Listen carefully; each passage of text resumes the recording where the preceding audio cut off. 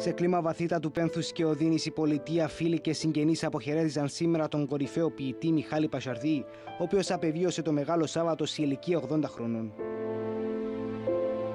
Η νεκρόσιμος ακολουθία εψάλει στην Εκκλησία Αγίων Αθανασίου και Ανδρονίκου στο Τσέρι, χωροστατούντος του Επισκόπου Μεσαωρίας Γρηγορίου, ενώ η ταφή έγινε στο κημητήριο Αγίων Κωνσταντίνου και Ελένη Τσερίου. Εκ μέρους της πολιτείας, τον ποιητή αποχαιρέτησε ο Υπουργός Παιδείας, τον χαιρετισμό του οποίου ανέγνωσε ο Διευθυντής Μέσης Εκπαίδευσης του Υπουργείου Κυπριανός Λουί.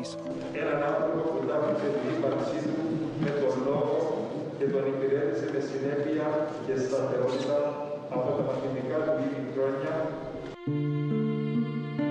Μιχάλης Πασαρδής από το 1964 μέχρι και το 2001 εργαζόταν στο Ραδιοφωνικό Ίδρυμα Κύπρου, κρατώντας τον πολιτισμό ζωντανό στους ραδιοθαλάμους του πρώτου ραδιοφωνικού προγράμματος, είπε σε επικίδιο λόγο του ο Ανδρέας Φράγκος, πρόεδρος του Διοικητικού Συμβουλίου του ΡΙΚ.